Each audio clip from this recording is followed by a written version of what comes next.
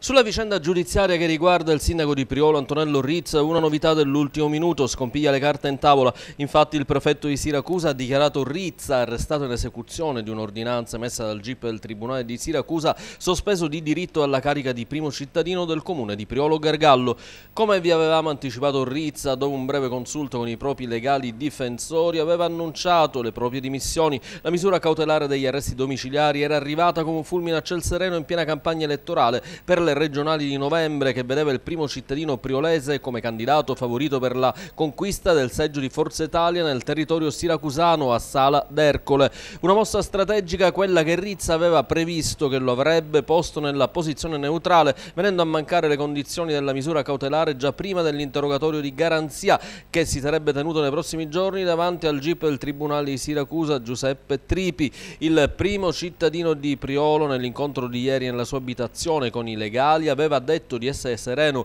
e di volere continuare a tutti i costi nella sua campagna elettorale. Gli avvocati avevano anche annunciato di voler ricorrere al Tribunale del riesame per l'annullamento dell'ordinanza di custodia cautelare, ma adesso la scelta del prefetto di sospendere di diritto Rizza dalla carica di sindaco di Priolo ha scompigliato ancora una volta le carte in tavola.